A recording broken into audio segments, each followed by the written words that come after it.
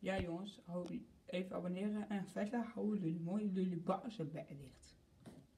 Dag, dag, tot morgen. Succes met je vuile je bek houden. Dag!